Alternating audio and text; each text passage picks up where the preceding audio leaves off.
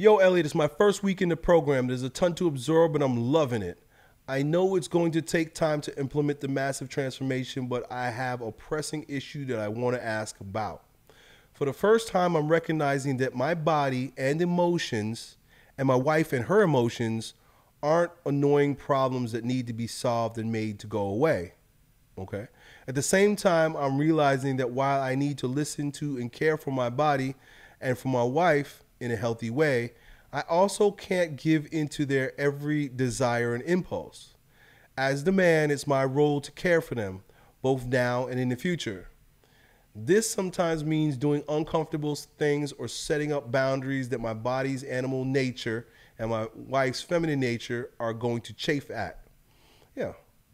I'm struggling to establish firm boundaries for the good of my body and my wife while at the same time being in tune, listening, and being receptive to their feedback so that I can care for them. How do you juggle this tension? Well, it's, it's very similar to what we were talking about before about knowing the situation and responding appropriately.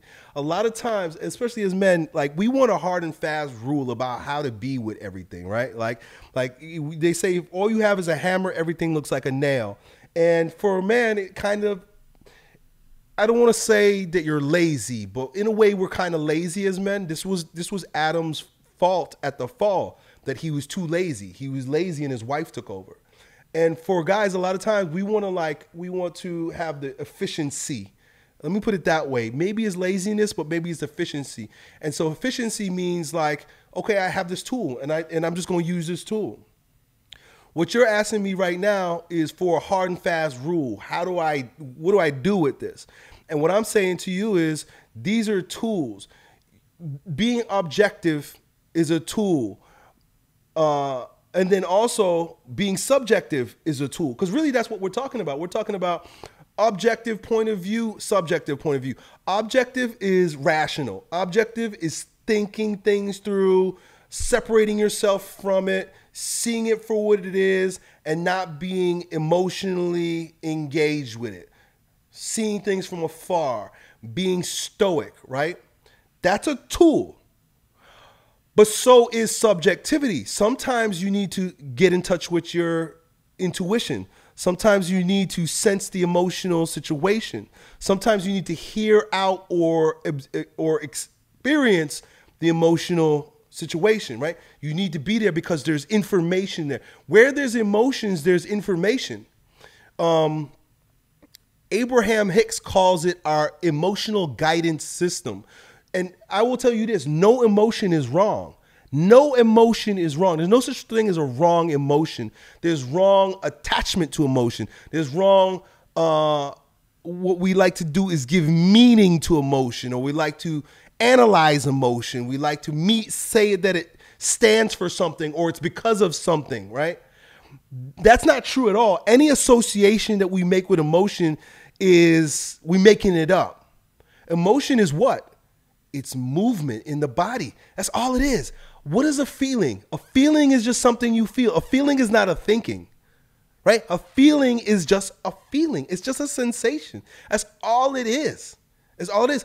But when we attach, when we give content to it, when we try to explain it away, or when we decide that we need to do something, this is where it becomes dangerous. When we decide we need to do something because of a feeling, that's when we got to back off a little bit. I never say, don't feel your feelings. I will say, don't trust yourself when you're wrapped up in feelings because usually you're not thinking. And so when you're talking about your body, I understand what you're saying. You're talking about your subjective experience. Something happens and there's a movement in your body. And it's the same for your wife to a greater or lesser degree, depending on the type of woman that she is. So you want to be there to have boundaries and to be objective for yourself so that you can also provide that for your wife. And that's a good thing too. Women appreciate that from their men. Women really appreciate when their men don't jump into the river of the emotions with them, stand back for a moment hear them out. And maybe she wants advice, maybe she doesn't, but she just wants a rock to lean on in her times of turbulence. That's all really women want sometimes. I know, and my wife is probably one of the most rational women I know, and that's crazy. That's probably part of the reason why it works with us. Because I never had to like figure her out. But when she gets into her cycles, she gets more feminine, you know, more emotional. Let me put it that way, a little bit more turbulent with her emotions. And she just even warns me sometimes. She's like, I'm being irrational right now. I'm getting my period. And I know that it doesn't make any sense, but I'm feeling like this right now. I'm just warning you. And she'll tell me. And that's the most beautiful thing because then I'm like, okay, cool. That means I need to back up a little bit and not engage with her where she's going and be strong for her. Like, okay, all right. That's usually when I speak less. When she gives me that warning that she's being emotional, that means, okay, oh, okay, then I back up and I listen I spend more listening and hmm, oh, okay, and just hugs, just hugs. That's all she want. When a woman's emotional, she don't want you to solve her problems. She don't want you to jump into problems with her. One of these words, I learned the I, word, I learned the word empathy I know what the word empathy means, but I watched the video not too long ago, and this guy was denigrating empathy, and I and I totally related to it. I was like, "Wow, that's amazing." He says empathy is not a good idea. This guy was a Christian pastor too, he was a preacher, and he was like, "Jesus never asked you to be to be empathetic, but the world has fooled us into being empathetic. But empathy is not a good thing. You don't want to be empathetic because empathetic means that I'm jumping into that emotion with you. Sympathetic means that I see where you at." And I'm and I'm I'm remaining distant, but I'm acknowledging you, right? I'm sympathetic for you. It's okay to be sympathetic. I'm sympathetic, so I'm gonna hold you, I'm gonna hug you, but I'm not going there with you. Empathetic means you get down there in the dirt there with them and you don't want to do that. And you don't want to do that with your emotions either. You don't you don't empathize with your emotions. Because that means I'm just gonna let it carry me away. I'm gonna just jump in that river with it. No. You sympathize, meaning you see it. Oh, I see what's going on here. I respect it. Cool. There may be something that you could you could do to help resolve it, or maybe not, because it's not even the the, the point, but is to remain objective. How is that? Isn't that interesting? You can remain objective to a subjective experience. That's master of your domain. I'm I'm having a subjective experience, like with my wife. Like I was telling you, she's having a subjective experience. I'm emotional, but I'm going to be objective about it by saying, "Watch out! I'm emotional. I know it doesn't make any sense. I'm just warning you." When she does that, man, that was a, she she's been doing that since we were young, and I was like, "Wow, this is the most amazing thing." I don't know if there's too many women that do that, but she don't even trust herself, and she tell me, "Don't trust, don't trust me right now. I'm emotional." So just back up. So it's the same thing with you. It's the same thing with your personal experience with your emotions, and the same thing with your wife. You, you, you when you say I'm struggling to establish firm boundaries, there's no firm boundaries. There's boundaries, but those and, and I know it sounds like Elliott contradicts himself constantly, and I do because there's no hard and fast fucking rules. Anybody who's listening to Elliott and they expect me to say the same thing, because I saw I read my comments I see people commenting like, "Oh, Elliott said something different last week." That's because it's a different situation with a different person, and I'm thinking differently right now, and it's a different angle. It got to come from different angles. We can't be everything's a, a, a nail. If you all you got is a hammer, everything's a nail, and that's not how life is. So right now, you're asking about st- struggling to establish firm boundaries. Think of it less as boundaries and think of it more as distance. Right? A boundary means I'm putting up this wall. Think about the wall, right? Donald Trump wall. That means you staying on that side and I'm staying on this side and there's no crossing. That's not what I'm talking about. And life isn't that, especially our emotional life, our spiritual life, the life of the soul is not that hard and fast. There are times when there need to be a strong boundary, right? But at the same time, you also have to be able to see when that boundary needs to be a little flexible right? There are times when you got to wreck that wall quick. Boom, put that wall up. Don't let anything in. But it doesn't stay that way. There are times when you have to say, okay, all right, all right, let's open the door. Open the door, see what's out there. Oh, okay, cool. And then there could be communication. There could be something that happens. So that's really what it is, man. You say, well, at time time, you say I'm trying to struggle, I'm struggling to establish boundaries, but then you say at the same time being tuned in, listening, and receptive. It's both. It's both. It's both. And I hope you can see that. I hope you can understand that. I hope that's not too confusing for you, dude. There's I know where the ba- I know where the line is and I'm going to pay attention to what's appropriate for my response in this moment.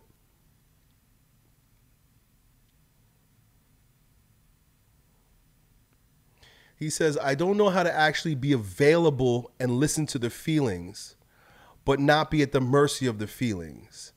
The way you become at mercy to the feelings is by giving them meaning. If you objectify the feelings, it basically means I'm feeling these feelings, but I don't believe these feelings. I'm not letting these feelings get. So, okay, here's how it gets carried away. The feeling comes, but this is the this is the linchpin. If the feeling comes and I start having thoughts about that feeling, and then I start thinking about the person that gave me that feeling, and the situation that created that feeling, and then what I could do to get rid of this feeling, and then you start like ruminating about the feeling in your mind, now you have engaged. And and and and that's that's where they get you. But if you have the feeling and the best thing to do is to remain curious about the feeling. I have this feeling. Hmm, that's interesting. Now, with my wife, she knows because her period's coming.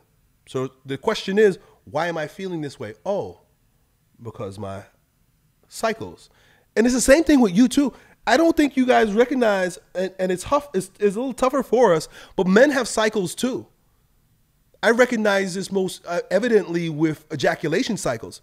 After ejaculating, I'm a little bit more grumpy. So with women, it's like, you know, bigger cycles monthly. But men, if you're jerking off or you're having sex three days a week or whatever every week, you're going through little mini cycles because your hormones change. Did you know that? This is part of the reason why you can't trust your feelings because your hormones change. Let me give you a little bit. I'm just being transparent with you guys right now. I did not want to get on this call today. I did not want to get on this call today. I'm still fighting off this fucking flu thing. All I want to do is lay down. All I want to do is take naps. I don't even want to eat. I don't want to do anything. And I caught myself today when I was saying to myself, man, I, I was dragging my ass coming in here. I was like, man, I don't, I don't want to do it. And then you know what? The demon in my head started saying, why do you keep doing these calls? Why are you doing this? Look at all these questions, man. Why, why, why? How much longer are you going to do this? Aren't you tired of doing this? That's what the demon in my head started started trying to trick me into having a conversation about because of a fucking feeling I was having. But I ignored all those feelings. I'm like, that's stupid. That doesn't make any sense. And so I'm ignoring every fucking word that's come, being whispered in my ear by that demon. And that's what the demons will do. They will hijack your feeling and then give you reasons to do dumb shit. You can't do it.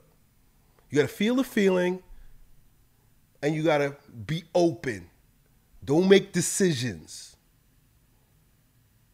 He says, I got it. So I'm struggling with the tension of ignoring the feelings or trying to fix the feelings. Yeah, both of those are wrong. Both of those are wrong. Sounds like you're abdicating mindfulness. Yes, notice the feeling, but don't feel obligated to necessarily, necessarily do anything. Ah, that's it. You got it mindfulness, right? Because you're struggling between two bad things. You don't ignore the feeling you don't ignore your wife. those are two those are two ways down a slippery slope to a bad life.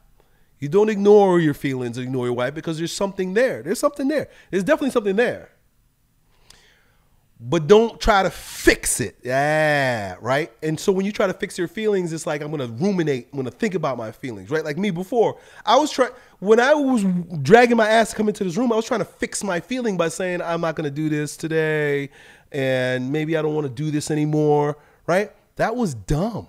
That was dumb. That's I'm not trying to fix it, right? That was a demon in me trying to trying to ruin my life. Just don't feel obligated and necessarily do anything. So I felt my feelings. I was allowing myself to. Be, I'm grumpy today. I'm allowing myself to be grumpy. I was grumpy. I was. Uh, I woke up. I took a. I was taking a nap right before this call. I was laying down. I was grumpy. I was like, I don't want to get up. Right? But I didn't take that seriously. I didn't take it seriously.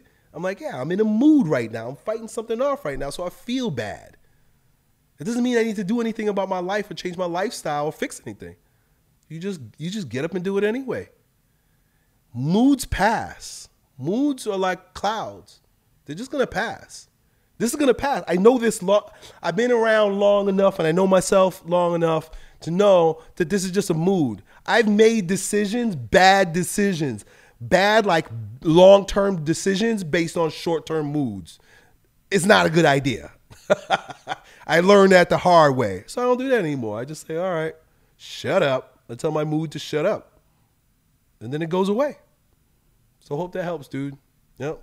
Be steady, pay attention, done. Yo, it's your bro Elliott. I hope you enjoyed that video. If you did, you ought to know that it was a clip from one of my most recent King Transformation classes with my students, where among other things, we get together about four or five hours a week and we speak on things as it relates to becoming kings in our lives and fitness, business, and with women. If that sounds like you and you want to join a like-minded group of men who are growing stronger every day in every way in this degenerate age, then it's real simple. Just follow me on Instagram and then DM me the word King, K-I-N-G, and then me and my team will get back to the details to see if you qualify. I really hope to see you at the next meeting. Done.